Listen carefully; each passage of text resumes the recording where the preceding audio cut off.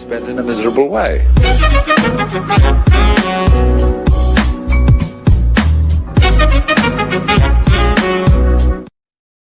U.S. News Trump's personal secretary blasts leak of the president's private schedule as breach of trust. Trump's personal secretary has blasted the person who leaked the president's private schedule, calling the move a disgraceful breach of trust. Eh?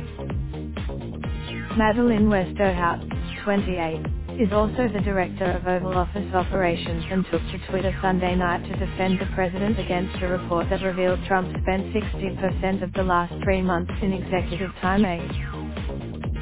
White House Press Secretary Sarah Sanders explained that Trump's executive or unstructured time was spent in scheduled meetings, events, and calls, adding that there is time to allow for a more creative environment that has helped make him the most productive president in modern history. Eh?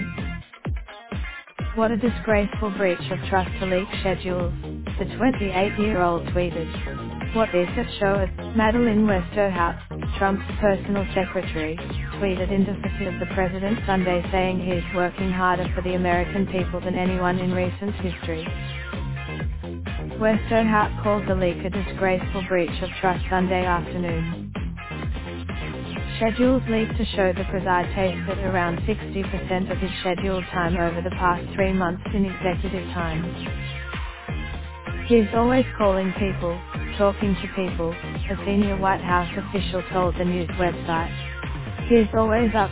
Trump is an early riser and usually spends the first five hours of the day in executive time. Eh? Sanders also hit out at critics saying that Trump had a different leadership style and needed to create a creative environment. President Trump has a different leadership style than his predecessors and the results speak for themselves. Eh? Madeleine Westerhout, 28, is also the director of Oval Office Operations pictured with Press Secretary Sarah Huckabee Sanders. A preside Trump has ignited a booming economy with lower taxes and higher wages established the USA as the one producer of oil and gas in the world, remade our judiciary, rebuilt our military, and renegotiated better trade deals. It's indisputable, while the leaked schedule shows Trump in the Oval Office from 8 a.m. to 11 a.m., the president is never in the Oval Office during those hours, six sources told.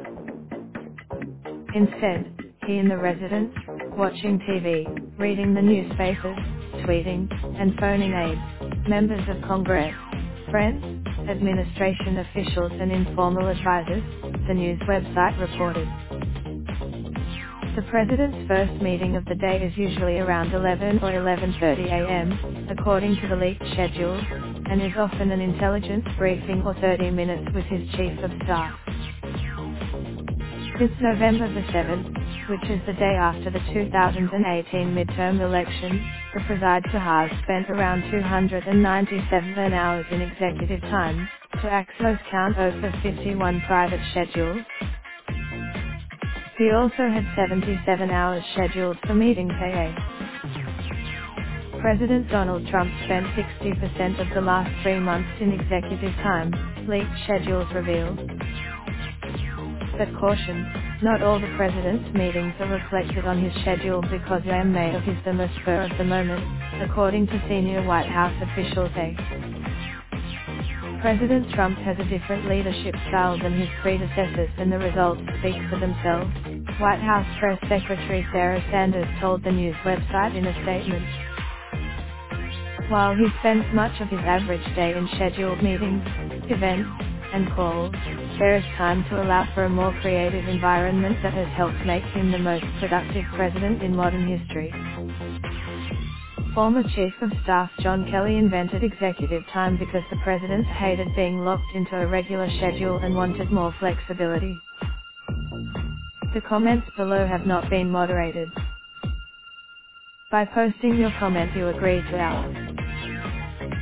Do you want to automatically post your mail online comments to your Facebook timeline? Your comment will be posted to mail online as usual. Do you want to automatically post your mail online comments to your Facebook timeline? Your comment will be posted to mail online as usual.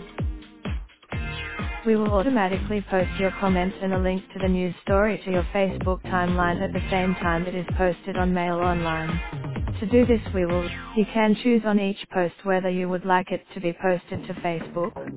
Your details for published by Associated Newspapers Limited. Part of the Daily Mail, the Mail on Sunday Metro Media Group. Drip, drop top, top smoking, no cooking hot pot. Fucking on your bitch, yeah. Looking up, open the park, pot, pot.